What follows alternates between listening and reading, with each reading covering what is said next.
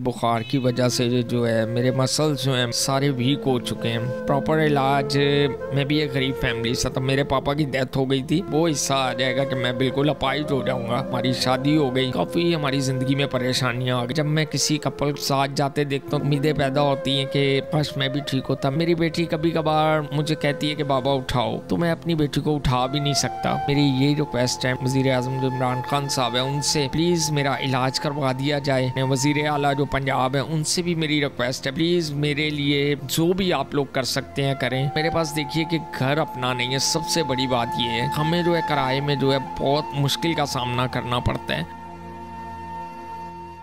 अस्सलाम वालेकुम नाजरीन टुडे डिजिटल के साथ मैं हूँ आपकी मेज़बान आमना उस्मान।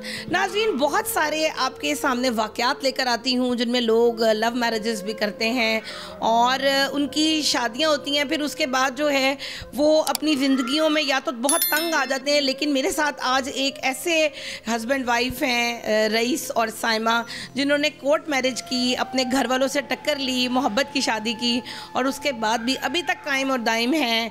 और रईस जो हैं, वो बीमार हैं। कुछ अरसे से इनकी इनको टाइफाइड हुआ था। टाइफाइड के बाद जो है, वो इनका आधा धड़ काम नहीं करता, बाजू भी सही से काम नहीं करते, ये मूव नहीं कर सकते कहीं पर भी।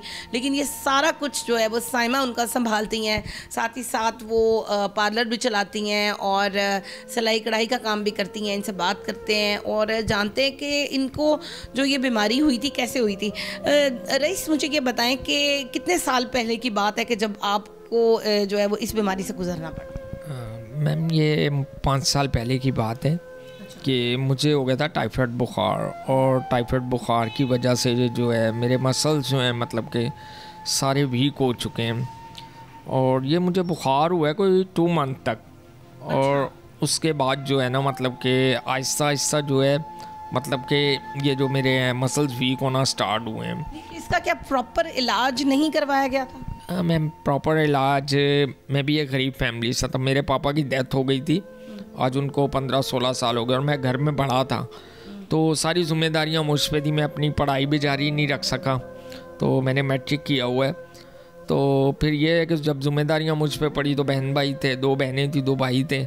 तो उनकी जिम्मेदारियाँ फिर घर का तो ये काफ़ी सारी मतलब कि परेशानियों के बायस जो है ना मैं अपना मतलब कि इलाज नहीं मैंने तो कहा कि छोटा मोटा बुखार है ये ठीक हो जाएगा। मगर मुझे क्या पता था कि ये मतलब कि बहुत लंबा चला जाएगा। लंबा चला जाएगा और मेरी ज़िंदगी का मतलब कि वो हिस्सा आ जाएगा कि मैं बिल्कुल अपाइज हो जाऊँगा। तो मुझे इस चीज़ का इलम नहीं था। अच्छा उस वक्त आप कराची में रहते थे तो कराची से लाहौर कैसे मूव हुआ? कराची में लाहौर में इस तरह हुए कि हमने, हमारा एक पेज था, अपना फेसबुक पेज बनाया हुआ था। तो उस पर जब हम, मैं इस हालत में था और जब मतलब कि हमारी शादी हो गई तो उसके बाद काफ़ी हमारी ज़िंदगी में परेशानियाँ आ गई। बहन भाइयों ने साथ छोड़ दिया सबने साथ छोड़ दिया। तो ये था कि फिर हमने ये सोचा कि हम क्यों ना किसी से रिक्वेस्ट करें। कि मेरा इलाज करवाया जाए क्योंकि रिलेटिव में यहाँ भी इस वक्त मेरे साथ कोई भी नहीं खड़ा। ना मेरे भाइयों में ना मेरी बहनों में कोई मतलब कि रिश्तेदार मामूता या चाचा कोई भी नहीं है। तो फिर मैंने सोचा कि एक फ़ेसबुक पे हम अपना ऐड देते हैं कि जिससे हमारी हेल्प हो सके। तो इस तरह एक ग्रुप था। तो उन्होंने हमें यहाँ पे बुलाया और वो भाई ने कहा कि हम आपका मतलब कि बैतल माल से आपका इलाज भी करवाएँगे और आपको मंथली जो है वो पैसे भी मिलेंगे। तो बस इसी तरह हम लोग मतलब कि आगे हमें तो अपनी ज़िंदगी संवारनी थी मगर ये नहीं था पता कि हमारी ज़िंदगी पहले से भी ज़्यादा ख़राब हो जाएगी। तो आने के बाद उसने भी नहीं मदद की और साथ भी छोड़ दिया सबने जी ये हुआ। तो अच्छा, मुझे ये बताएँ कि शादी का सिलसिला कैसे हुआ? साइमा आपको पसंद थी आप दोनों एक रिलेशन में थे पसंद करते थे मंगनी हुई। शादी तक ये बात कैसे पहुँची? जबकि आप तो बीमार हो चुके थे माजूर हो चुके थे तो उस वक्त ये सब कुछ कैसे किया? मैम, हमारे जो शुरुआत थी, बस एक मेरे भाई की शादी थी कराची में ही। ये लोग, ये मेरे मामू की बेटी हैं। तो शादी पे आए थे तो बस वहीं ये मुझे पसंद आई हैं तो मैंने इन्हें प्रपोज़ किया है। तो उसके बाद जो है मतलब कि हमारा दो साल तक रिलेशनशिप रहा है। तो उसके बाद मेरी तबीयत ख़राब हुई है। मगर जब मुझे इस चीज़ का इलम हुआ है तो मैंने साइमा से जो मैं सारा दिन बात करता था तो वो, फिर मैंने इनसे बात करना कम कर दी कि ऐसा ना हो कि मेरी वजह से मैं कहता था कि इसकी ज़िंदगी ख़राब ना हो। तो मगर जब इसको पता चला, ये मेरे साथ लड़ाई करने लगी, कहने लगी कि शायद आपकी ज़िंदगी में कोई और आ गया या इस तरह आप मुझे इग्नोर कर रहे हैं। तो इस तरह करते कराते तो मैंने जब इनको पता चला तो ये फिर मेरे साथ नाराज़ हुई कि आपने मुझसे ये बात क्यों छुपाई है? साइमा की जानब चलते हैं। साइमा, मुझे ये बताएँ कि जब इन्होंने आपसे बातचीत बंद कर दी तो फिर कैसा फील कर रही थी? एक्चुअली मुझे लग रहा था कि शायद ये किसी और से बात करने लग गए हैं जो मुझे इतना इग्नोर कर रहे हैं क्योंकि ये मेरे बगैर बिल्कुल भी राजनीति करते। तो जब ये मुझे ये नहीं था पता कि रईस ज़्यादा बीमार हो रहे हैं वो चाह रहे हैं कि मेरी ज़िंदगी ख़राब ना हो कि मैं निकल जाऊँ। इसकी ज़िंदगी से। तो मगर जब मुझे पता चला तो मैं बहुत रोई। घर वालों को पता चल गया कि क्या मसला हुआ है। पहले ही घर वाले मुश्किल से माने थे फिर वो बिल्कुल भी नहीं थे मान रहे। अच्छा।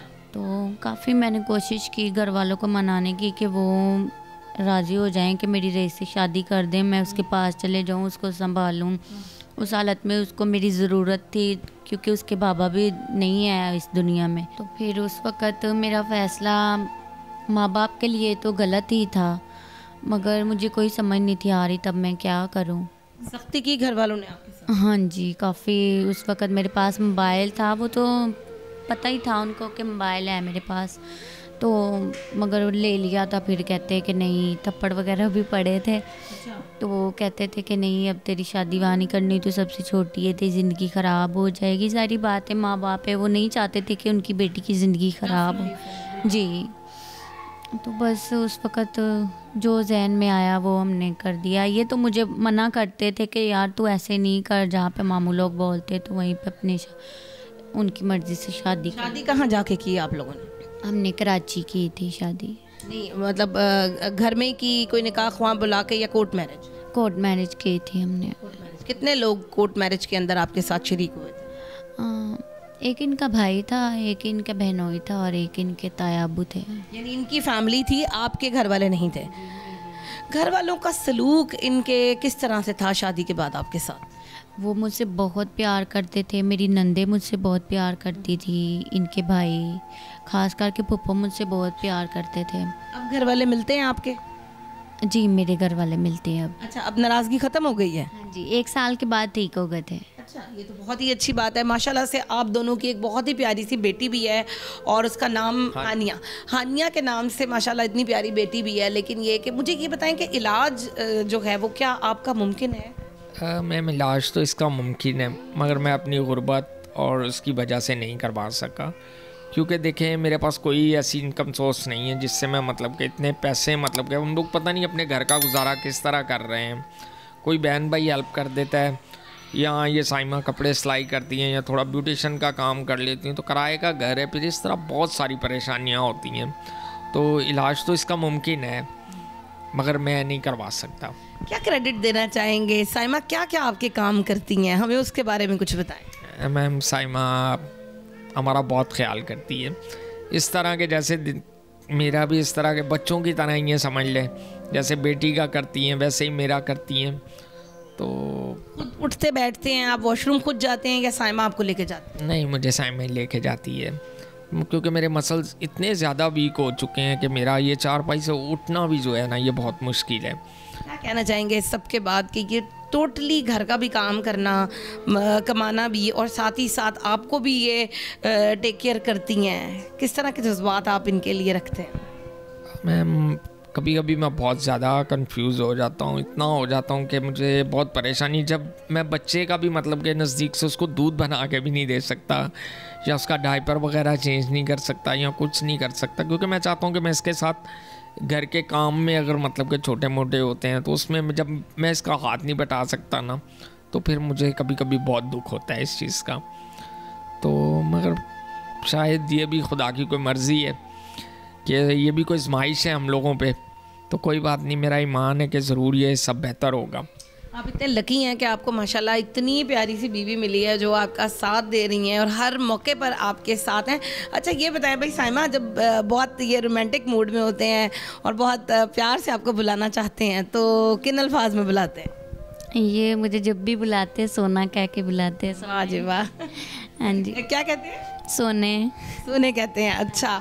सबसे पहला जो कह सकते हैं कि लड़ाई जो आप दोनों की सबसे पहली हुई थी वो कौन सी हुई थी? वो लड़ाइयाँ तो मर बीच काफ़ी होती रहती थी। अच्छा लेकिन सबसे पहली वाली शादी के बाद? शादी के बाद बस छोटी छोटी बातों से ये नस्वार लगाते थे उससे होती थी। माय गॉड अभी भी नस्वार पीते हैं? हैं? नहीं। छोड़ दी।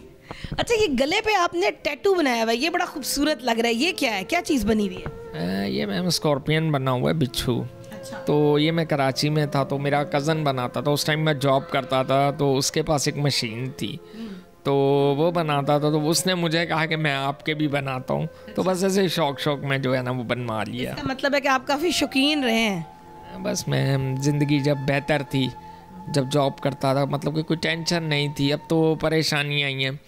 तो उस टाइम शौकीन तो फिर बंदा होता ही है। जॉब करते थे कितना कमा लेते? कम से कम सत्ताईस अट्ठाईस हज़ार तीस हज़ार बन ही जाता था मेरा। तो मतलब कि अच्छी लाइफ गुजर रही थी। साइमा से जानते हैं साइमा कितने शौकीन मिजाज हैं ये ये पहले तो बहुत ज़्यादा थे क्रीमें वगैरह यूज़ करते थे। जब हमारी शादी हुई उससे पहले भी मतलब कि जब हम शादी पे इनके भाई की शादी पे गए थे तो ऐसे पूरे ड्रेसिंग पे क्रीमें फैशल वगैरह सब कुछ पड़ा हुआ। मतलब लड़कों में क्रीमें यूज़ करना एक बड़ी अजीब सी बात लगती है। हाँ जी मगर ये बहुत ज़्यादा शौकीन थे इन चीज़ों के। बहुत अपनी केयर कर, करते थे। अब ज़्यादा अच्छी बात नहीं है कि आप पार्लर का काम करती हैं आप सारे के सारे अपने जितनी ट्राइयाँ मारनी होती हैं इन्हीं के ऊपर कर लिया कि नहीं करती हैं कि नहीं करती? नहीं ये वो खुद ही नहीं कहते नहीं अभी नहीं मेरा दिल नहीं करता। अच्छा रईस अ, लोगों का रवैया जो है वो आपके बीमार होने के बाद बहुत ख़राब हुआ होगा। मतलब बहुत सारे ऐसे लोग भी होंगे अच्छा भी किया सलूक बुरा भी। कोई ऐसा वाक़ जो आपको भूलता नहीं है और मतलब बहुत तकलीफ़ हुई उस बात से? मैम सबसे बुरा वाक़ मेरे लिए यही है कि ये देखें कि मैं कराची से यहाँ लाहौर शिफ्ट हुआ हूँ। तो मैंने अभी भी देखे कि अभी भी हमारी कुछ वीडियोस चल रही हैं और लोग जो है ना कुछ लोग ऐसे हैं कि कॉल्स कर कर के तंग करते हैं। मतलब पहले ही हम लोग ज़िंदगी में इतने परेशान हैं। तो कुछ लोग रात बारह बजे भी कॉल कर रहे हैं और सुबह में भी कर रहे हैं। कोई पूछ रहा है इसका नंबर है उसका नंबर है भाई आपने मिस कॉल दी है तो बहुत तंग करते हैं। देखें मैं सुनने वालों से, देखने वालों से यही कहूँगा कि मेरा भाई अगर किसी की कोई मदद या कोई वो नहीं कर सकता तो किसी को इस तरह फ़ोन करके तंग नहीं करें कि पहला इंसान पता नहीं कितना परेशान और वो होता है। तो बस यही है कि मेरी यही गुजारिश है कि प्लीज़, अगर कोई बहन भाई हेल्प नहीं कर सकता, हमारे लिए दुआ करें। फैमिली में से, दोस्तों में से रवैया कैसा रहा आपकी इस बीमारी के बाद? फैमिली में तो मैम आप देख ही रही हैं कि जब इंसान पे कोई बीमारी आती है ना तो अपना जो है ना बहन भाई भी वो भी साथ छोड़ जाते हैं। तो दोस्त तो होते ही वो हैं कि जो पैसा हो तो दोस्त है, नहीं हो तो सब छोड़ जाते हैं। मगर मैंने तो यहाँ तक देखा कि मेरे साथ यहाँ तक हुआ है कि मेरे तो अपना मतलब के सके भाइयों ने छोड़ दिया, सबने छोड़ दिया। मतलब मेरा कोई भी इस वक्त जो है ना रिश्तेदार मेरे घर में आके नहीं देखा, उन्होंने मेरा हाल चाल नहीं पूछा कि यार आपके साथ मतलब ताया है चाचा है मामा है ये क्या हो रहा है? क्या हो रहा है? कोई ऐसा वाक़या जो अभी तक आप भूल नहीं पाए और तकलीफ़ हुई उससे? मैम ऐसा वाकया ये कि जब मैं किसी कपल को मतलब कि साथ जाते देखता हूँ तो मेरे दिल में मतलब कि ख्वाहिश होती है। जब हम डॉक्टर के पास जाते हैं तो साइमा मुझे ले लेके जाती है। तो जब कोई हस्बैंड वाइफ मतलब कि एक साथ जा रहे होते हैं बाइक पे या मतलब कि घूमने फिरने के लिए तो बहुत सारी दिल में जो है ना वो उम्मीदें पैदा होती हैं कि काश मैं भी ठीक होता मैं भी अपनी वाइफ को अपनी बेटी को अब मेरी बेटी कभी कभार मुझे कहती है कि बाबा उठाओ। तो मैं अपनी बेटी को उठा भी नहीं सकता। तो कभी कभी बहुत मतलब कि इन चीज़ों से मेरा दिल जो है ना बहुत ज़्यादा वो हो जाता है। गवर्नमेंट ऑफ़ पाकिस्तान से कोई रिक्वेस्ट करना चाहेंगे? गवर्नमेंट पाकिस्तान से मेरी ये रिक्वेस्ट है इमरान वज़ी अजम जो इमरान खान साहब है उनसे कि प्लीज़ मेरा इलाज करवा दिया जाए। और अपने वज़ी अला जो पंजाब है, उनसे भी मेरी रिक्वेस्ट है बैतल माल से कि प्लीज़ मेरे लिए जो भी आप लोग कर सकते हैं करें। और मेरे पास देखिए कि घर अपना नहीं है, सबसे बड़ी बात ये है कि हमें जो है किराए में जो है बहुत मुश्किल का सामना करना पड़ता है कि मैं खुद इस हालत में और मेरे साथ कोई बहन भाई नहीं अगर हमें कभी मतलब कि किराए की वजह से कहीं से दूसरी जगह शिफ्ट होना पड़ता है तो बहुत ज़्यादा परेशानी। में तो मैं वज़ी अजला साहब से और वज़ी अजम से, हुकूमत पाकिस्तान से ये रिक्वेस्ट करता हूँ कि प्लीज़ मेरे इलाज में और मुझे कोई छोटा सा घर लेके दे दिया जाए कि जिसमें हम लोग अपनी ज़िंदगी बसर कर सकें। जी तो नाजरीन रईस और साइमा की आपने गुफ्तु सुनी बहुत तकलीफ़ में ज़िंदगी गुजार रहे हैं, छोटी सी इनकी बच्ची है और ज़ाहरी बात है कि साइमा अकेली ये सब कुछ नहीं कर सकती हैं। इनको इलाज की, इनको फिज़ियोथेरेपी की बहुत ज़रूरत है। अगर आप में से कोई भी ऐसे लोग देख रहे हैं जो मुखैर हजरात हैं या वज़ी अजम पाकिस्तान इमरान खान साहब या वज़ी अला पंजाब उस्मान बुजदार साहब, उनमें से या उनकी टीम का कोई भी बंदा इस वीडियो को देख रहा है तो खुदारा इनके साथ ज़रूर रबता करें और इनकी मदद करें। इनको मदद की ज़रूरत है। अगले प्रोग्राम तक के लिए अपनी होस्ट आमना उस्मान को इजाज़त दीजिए। अल्लाह हाफ़